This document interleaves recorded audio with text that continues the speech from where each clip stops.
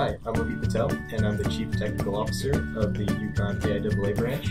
And I am Steve Nilla. I am the Programs Development Officer, and today we're here to talk to you about design competitions.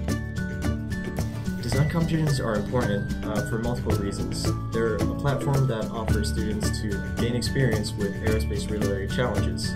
Uh, many of these challenges require students to work in teams, uh, to work together and propose innovative solutions to problems that the aerospace field sees today. Design competitions are great because they allow you to practically apply some of the engineering principles that you've been working on during your education, and you can develop a lot of skills that you did not get in your classes. So our club is in need of donations to help support uh, the students that work on these teams. These competitions are really a great avenue for students to pursue aerospace engineering, and all donations given to the program directly benefit the students and give them access to software, to materials, and educational opportunities that they may have not otherwise had access to. Uh, Come on, man.